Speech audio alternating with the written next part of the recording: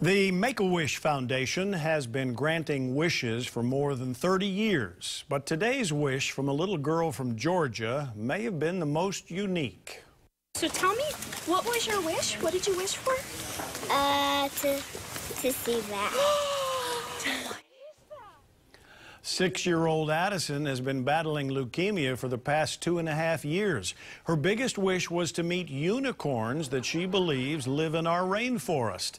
So the Make-A-Wish Foundation made her fairy tale dreams come true with a production put on by actors from Diamond Head Theater. It was the presents and the unicorn that I got today. And the magic fairy tale. And then I got to sit on the unicorn at the end. And and it was happily ever after. As a whole, though, we really, um, in a way, feel like we've been blessed by this experience because we've gotten to see the good in people and the good around us and everything that comes out of it. Addison's cancer now is in remission, and her parents say she is doing fine.